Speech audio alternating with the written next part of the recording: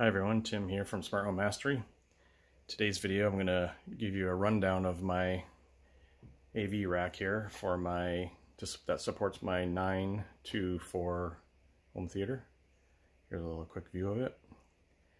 It's 9 to 4 but as you can see I have two rows of surrounds. That's what you're seeing here and here.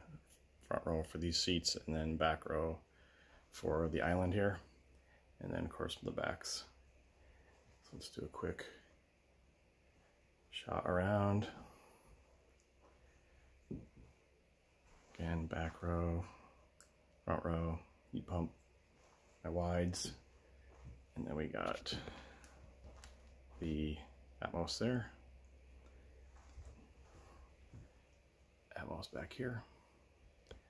So it's 9 2.4 Got two subs behind the screen, but it's going to be 944 soon. Um, and like I said, I also have two rows, two rows of surrounds. So we actually have 15 channels plus the two subs. And I'll explain that a little more when we get over here. So here's my rack. As you can see, it's located to the right of my screen little room back here. And there actually is a room behind there.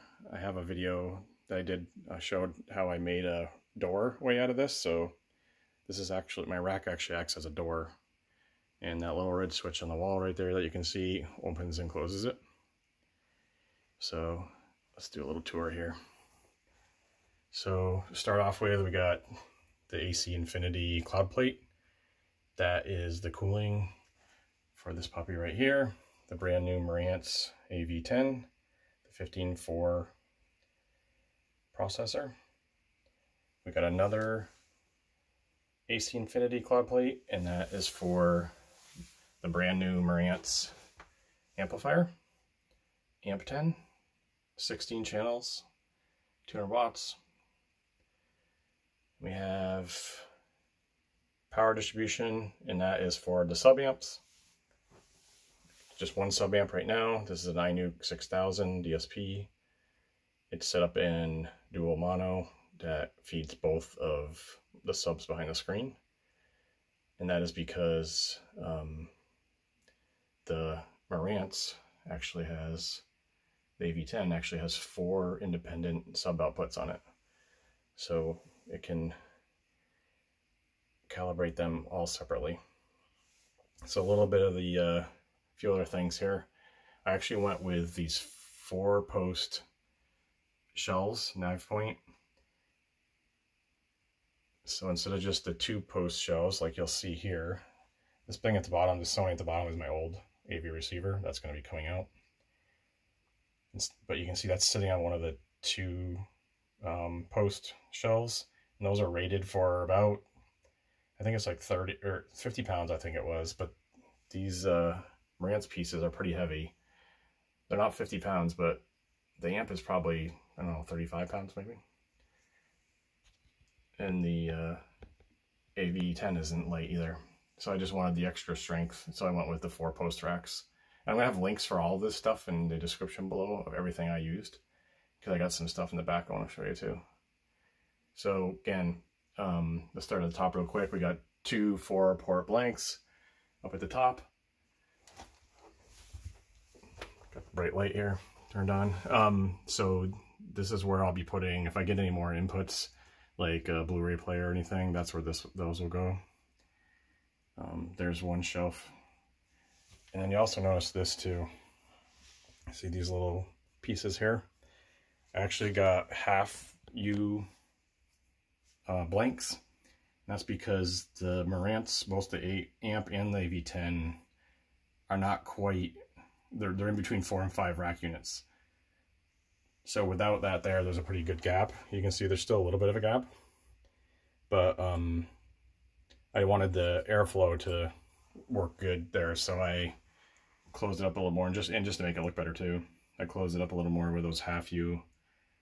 They're expensive for what they are, but makes it look a little better, I think. So these AC, AC Infinity fans actually have probes on them that you I just have sitting on top of the devices, so the AV10 and the AMP10. And so they have little thermostats in them, so you can actually have them come on only when the devices get warm, which they do get warm. Uh, that one, especially on the amp, comes on when I uh, when I have this turned on. They're Kind of loud, but I'm far enough away. My seating position is far enough away from here. It doesn't like it doesn't even bother me. But if these things were, if your rack's close to your main listening position, I would. Uh, you might want to think about something else. Right, and then the last thing I guess I want to show you here before we in the back is I just got a uh, I got a shelf here with a, a drawer, again NavePoint, and uh, what I got this for is actually I'll show you. So I have my fire cube and a little network switch back there in there. So I was wondering if the fire cube was going to work um, being in there, then my the remote still works fine. So that's just to keep that completely hidden. So my fire cube and a little network switch is in there. I have uh, a ran a network connection up to here. And then I just ran into that switch and then the switch feeds the, the AV10. So there's the front. Like I said, this is on a linear actuator. And so I just got to hit this switch and uh, open up the rack. And so uh, let me do that and I'll see you in the back. Okay, here we are in the room behind the rack. A little tight back here, but this is where all of my wiring comes in. See these Smurf tube running from all of the columns where the speakers are to a trough.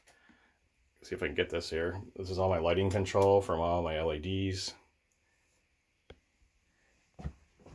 lighting control for all of my lighting zones. These are all Insteon switches. And then I have a motion light right there. So when the rack opens, the light automatically comes on back here and it'll shut off.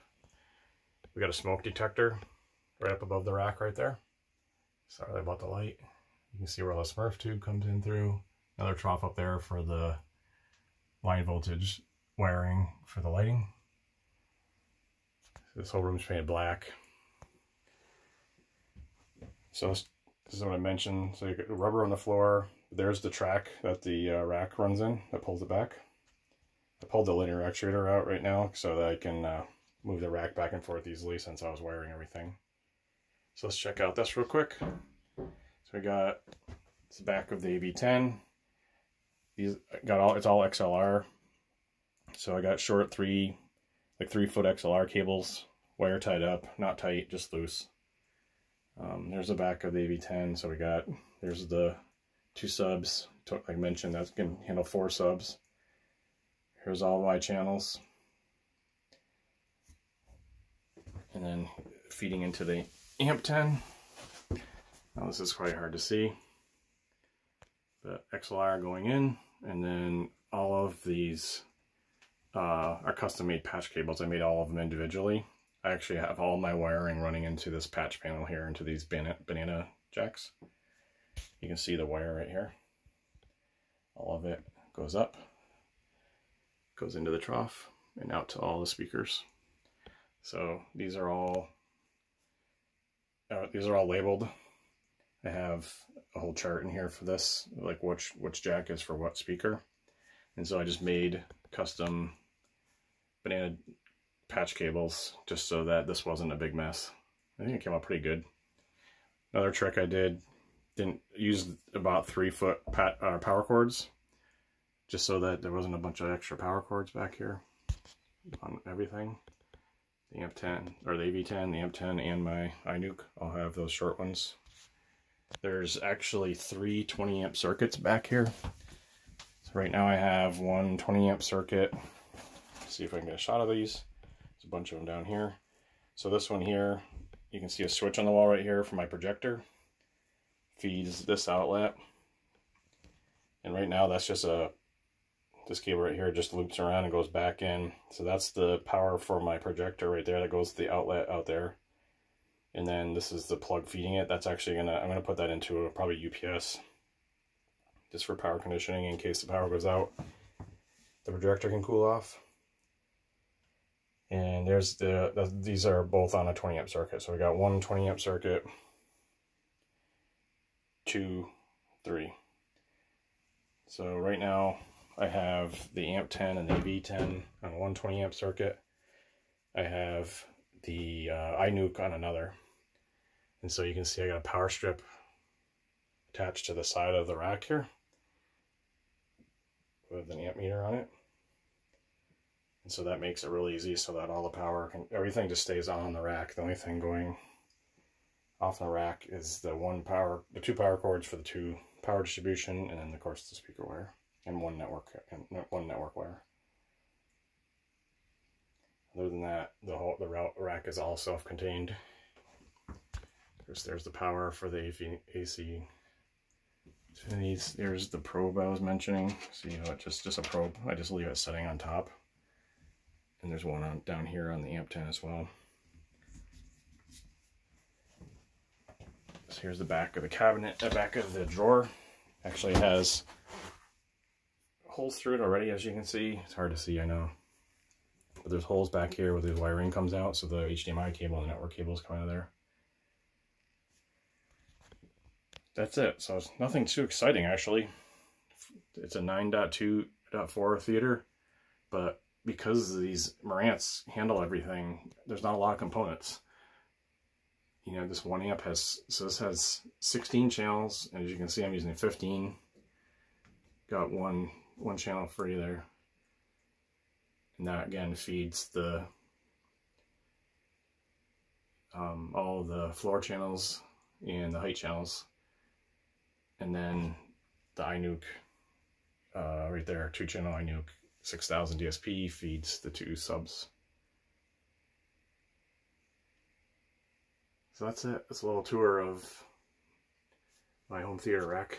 Again, nothing too exciting. I know there's a lot of them with a lot more uh, stuff in them than what this one has. A lot more sexy than this one, but I think the iNuke, or the, I'm sorry, the Marantz, these new Marantz devices just clean it right up. Everything's in those two boxes.